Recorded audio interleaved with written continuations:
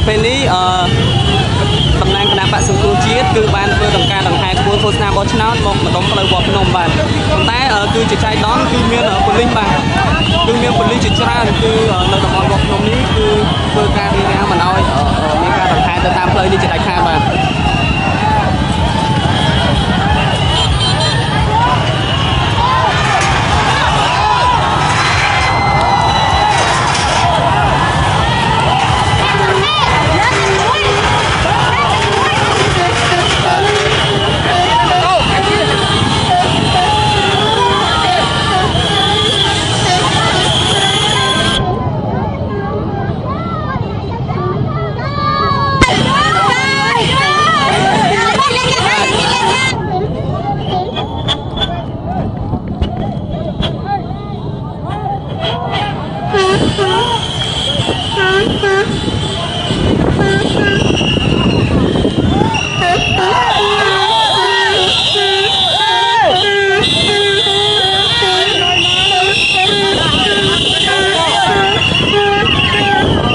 ទអឺមើលទៅសភាពការដូចជាមានការអឺ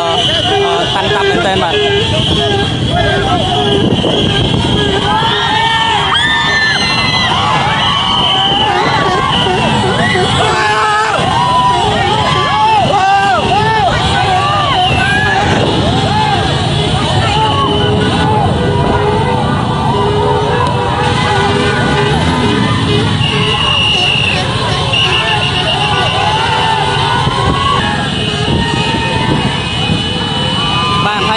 គឺជាអឺកន្លែងដែលត្រូវរៀបរៀងហើយអឺម្ខាងទៀតគឺជាក្បួនរបស់គណៈបក្សសង្គ្រោះជាតិបាទដែលមានអឺ